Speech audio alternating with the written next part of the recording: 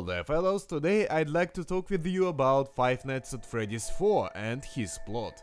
I've tried to find some clues in the teasers about that and I found something really interesting for you guys. First of all, eventually we will get into Family Diner, that may happen in a minigame or maybe at some night. In case you forgot, Fredbear's Family Diner is the restaurant where the first death occurred and the puppet has appeared. There are two facts that imply that.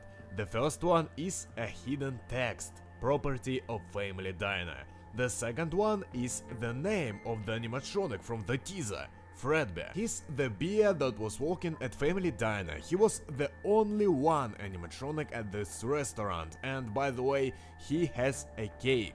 That means that Chica was not created yet. So Fredbear is carrying her thing. He tried to make every child happy, but he missed the death of the child in outdoors. In this restaurant we can see the first death of the child and the soul of this child will go into the puppet. So in this restaurant we will see the birth of the puppet. Also that being approved by something that happens to be in the belly of Fredbear's, something that looks oddly similar to child soul. Puppet Soul. Maybe, just like in FNAF 3 we've tried to save the souls in the minigames to get a good ending, in FNAF 4 we will be able to save the child's soul from the murder, or at least make the soul free. Don't forget about the phrase in Fredbear's belly, per blank me. What if that means protect me? That fits perfectly with my theory. The child soul in the belly asks for help from the Fredbear.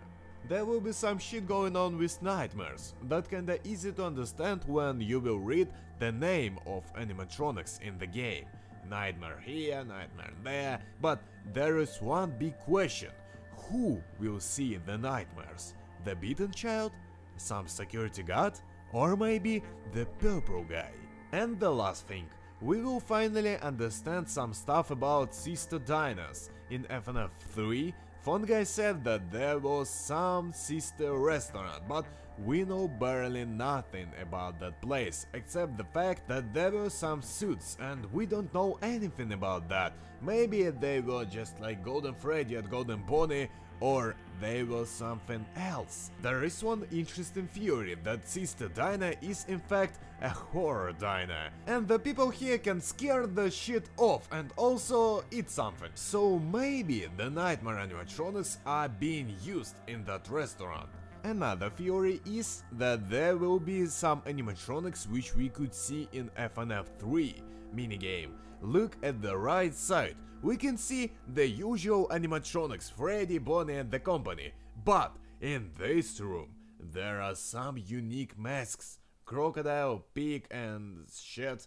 So maybe these animatronics are in fact from the Sister Diner, but I'm not completely sure that Scott will create unique and new animatronics only for Sister Diner, but maybe he will restart Five Nights at Freddy's with this Sister Diner and these animatronics will be the main characters in the next parts, who knows?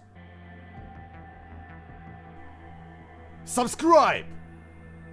Just subscribe! That's all today, bye bye!